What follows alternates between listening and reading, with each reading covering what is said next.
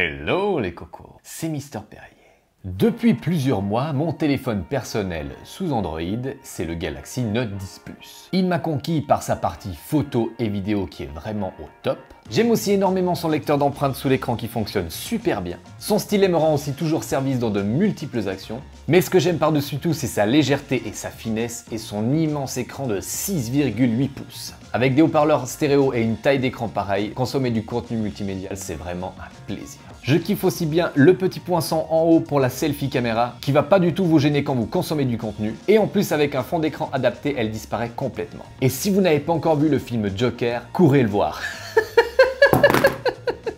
Une chute est si vite arrivée que j'ai bien sûr protégé mon Galaxy Note 10 Plus avec des accessoires Rhino Shield. Comme coque, j'utilise la Crash Guard Bumper qui va le protéger contre les chutes. Il existe aussi la Solid Suite si vous voulez protéger l'intégralité de l'arrière. Pour l'écran, j'ai installé l'Impact Flex qui est super facile à installer. Vous verrez, ils ont inventé un système qui vous empêche de le coller n'importe comment et en plus, aucun problème de bulle comme vous pouvez le voir. Et la protection est carrément invisible. Et pour le dos, j'ai décidé d'installer une skin. Celle-ci, c'est l'effet béton, donc elle est même texturée. On a vraiment l'impression de toucher du béton béton il en existe bien sûr plusieurs, vous avez un effet noir mat, un effet aluminium brossé noir, un effet carbone noir et aussi un effet blanc marbre. Bien sûr, elles vont protéger l'arrière de votre téléphone et plus de traces de doigts les cocos. Si une de ces protections Rhino Shield vous intéresse, il y aura un lien dans la description et vous avez le moins 10% avec le code Mister Perrier. Mais avant de tomber sous le charme de ce Galaxy Note 10 Plus, il y avait un autre téléphone Samsung qui m'avait carrément rendu fold. Vous l'avez compris, on déballe aujourd'hui le Galaxy Fold 5G. Générique.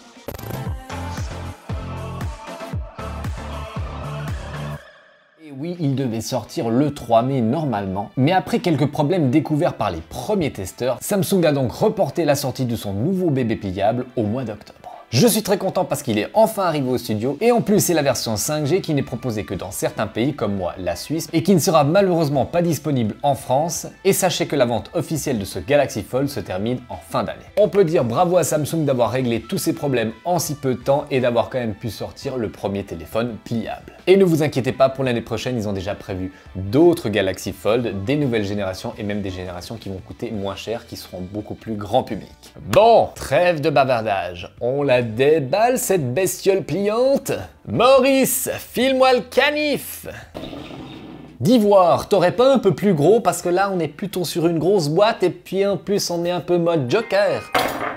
Ouais, ça c'est mieux.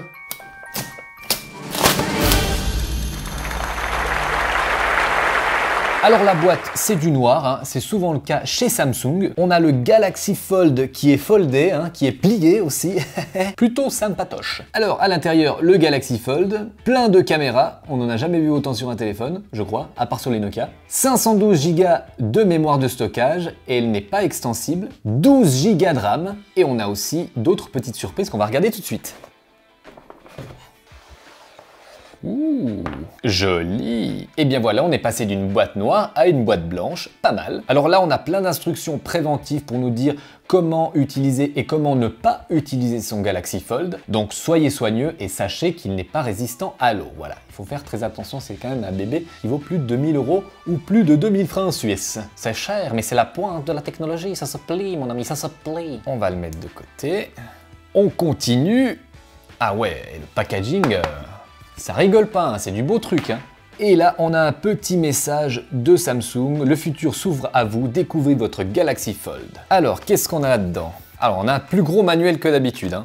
Alors Rhinoshield ne fait pas encore de coque de protection pour le Galaxy Fold, mais par contre elles sont fournies dedans, donc ça c'est vraiment pas mal. Alors là-dedans, on a le petit picot pour la carte nano SIM, un manuel pour enfiler la coque, une priority hotline si vous avez des problèmes pour utiliser votre Fold. On a pas mal de paperasse et de manuels parce qu'on est vraiment sur un produit tout nouveau et il y a pas mal de choses encore à apprendre. Bon, sauf si vous êtes geek. Voilà. Et qu'est-ce qu'on a là? Un Galaxy Fold Premier Service. Alors avec votre Fold, vous avez un service d'aide 24 h sur 24, 7 jours sur 7. Donc ça, plutôt pas mal. Donc vous avez un an d'assurance protection de l'écran. Donc si vous cassez l'écran, il vous sera remplacé gratuitement. Et ensuite, ce sera 149 francs si vous le recassez encore une fois. Donc ils vous font un prix. Donc 149 de francs suisses, on est dans les 150 euh, euros. Donc c'est plutôt pas mal, on est, bien garanti au niveau de, l'écran, mais comme c'est une nouvelle technologie, ils sont obligés, et puis surtout qu'ils ont eu quelques petits problèmes au début, donc ils sont obligés vraiment de vous garantir un service top de chez top. Qu'est-ce que c'est joli ça Et sont fournis avec les Galaxy Buds. Ça c'est cool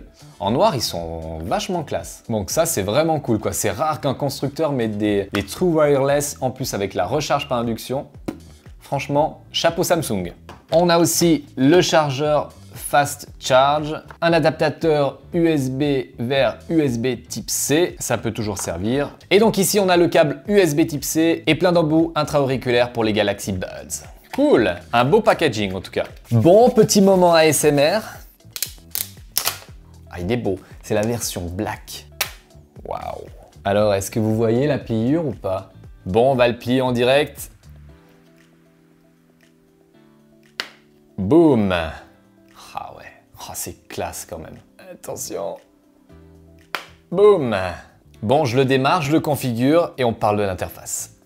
Bon, le Galaxy Fold est configuré, il est coqué, euh, ça veut dire qu'il a une coque, c'est pas qu'il prend de la drogue, et il est prêt à être utilisé, les cocos. On va faire maintenant un petit tour du propriétaire. Alors sur le devant, déjà, on a un écran de 4,6 pouces. Alors cet écran-là, on est bien d'accord, c'est l'écran secondaire, c'est pas l'écran principal. Il va être là un peu comme une Apple Watch pour vous donner vraiment les notifications. C'est un écran qui vous sert plutôt à faire des petites consultations et qui vous permet aussi directement de répondre au téléphone. Allô, ça fold? Ce qui est top avec ce petit écran, c'est quand vous commencez une action sur celui-ci et que vous ouvrez votre fold, eh bien vous allez vous retrouver sur la même application. Il y a vraiment une belle continuité sur l'interface. Juste en dessus, on va retrouver une caméra selfie de 10 millions de pixels. Vous avez aussi une jolie petite chose pour votre oreille qui va vous permettre d'écouter les gens qui vont vous parler au téléphone, c'est incroyable. À gauche, on va retrouver la charnière avec marqué Samsung, une sacrément belle charnière. En haut, on a un des deux haut-parleurs stéréo ainsi qu'un micro. Sur le côté droite, les boutons de volume, le bouton power et le capteur d'empreinte digitale, qui fonctionne très bien et qui est ultra rapide. Et en dessous, on retrouve le deuxième haut-parleur stéréo, un deuxième micro et le port USB type C. Dans son dos, vous pouvez regarder la finition carbone de la coque, qui est vraiment sympa avec le petit fold ici. Ici, on a les trois caméras qui sont exactement les mêmes que sur le S10 Plus. Niveau qualité photo vidéo, on est vraiment sur la même chose que le Galaxy S10, il n'y a aucune différence. On a de la 4K à 60, on a aussi de l'ultra grand angle, du mode portrait, on a tout ce qu'il faut pour bien faire. Et quand on ouvre la bestiole, on se retrouve sur un écran de 7,3 pouces.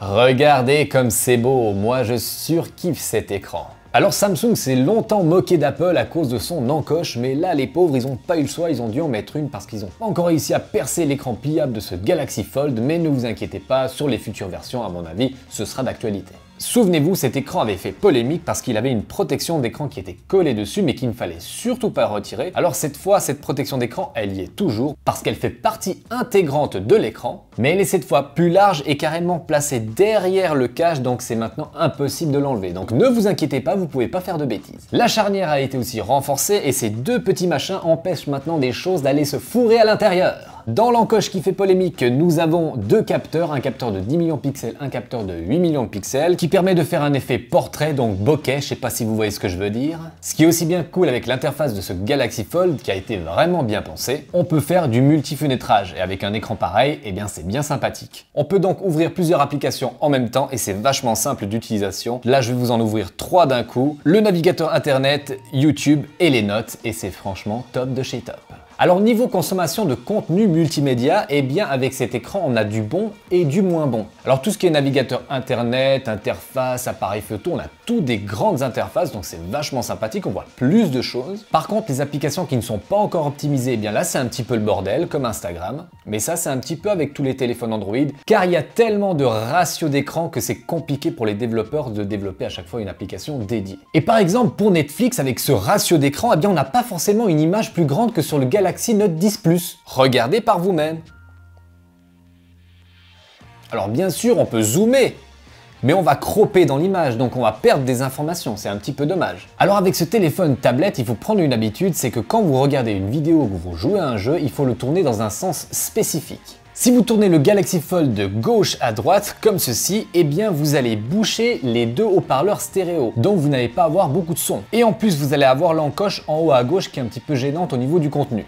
Par contre, si vous le faites pivoter de gauche à droite, eh bien vous vous retrouvez avec l'encoche dans la paume et les deux haut-parleurs sont bien dégagés. Alors ce qu'il faut vous dire aussi avec ce petit problème d'encoche, c'est que quand ça prend tout l'écran, eh bien ça va quand même cropper dans le jeu. Par exemple, ici le bouton saut, eh bien vous voyez, j'arrive juste à l'atteindre, mais il est un petit peu croppé par eh bien l'encoche. Donc des fois dans les interfaces, on peut déplacer les boutons, donc là il n'y aura aucun problème. Mais sinon que l'encoche soit en bas à droite ou en haut à gauche, eh bien elle va cropper dans votre contenu. Ça c'est vrai que c'est un petit peu dommage, parce que sinon c'est vraiment tellement appréciable de pouvoir jouer à un jeu vidéo avec une telle taille d'écran. C'est vraiment super sympa de jouer avec ça et bien voilà les cocos, on a fait le tour de ce Galaxy Fold. Pour moi, Samsung a réussi son pari de créer un téléphone pliable qui fonctionne non seulement sur le plan matériel, mais aussi sur le plan logiciel. Donc ils ont fourni un sacré travail dessus. Ils me l'ont prêté pendant deux semaines et après je devrais leur rendre. Mais pour me consoler, je vous ferai une vidéo pour vous donner mon avis après deux semaines d'utilisation de ce Galaxy Fold. Est-ce que le téléphone pliable est l'avenir des téléphones mobiles ou est-ce que c'est juste un gadget? Eh bien vous aurez mon avis. En tout cas, à chaud, moi je le trouve vraiment sympathique. C'est un petit peu un rêve de geek d'avoir un téléphone avec un écran pliable. Faut-il craquer pour le Galaxy Fold à l'heure actuelle? Eh bien, si vous êtes un geek et vous avez l'argent, pourquoi pas? Par contre, si vous n'avez pas le budget et que vous cherchez un super grand écran de qualité, eh bien je vous conseille le Galaxy Note 10 Plus. Il y aura bien sûr les liens de tous ces produits dans la description. Pour me soutenir, n'hésitez pas à laisser un pouce méga bleu, à vous abonner à la chaîne et à activer la cloche de notification pour ne louper aucune nouvelle vidéo. Je répondrai comme d'habitude avec un immense plaisir à tous vos commentaires. Je vous dis à très bientôt pour un prochain live ou une prochaine vidéo. Faites très attention à vous. Bisous Putain. Quel con. Pouce bleu, dans de bleu, dans de bleu, laisse-moi un méga pouce bleu, dans de bleu, dans de bleu, laisse-moi un joli pouce bleu, dans de bleu, dans de bleu, laisse-moi un méga pouce bleu.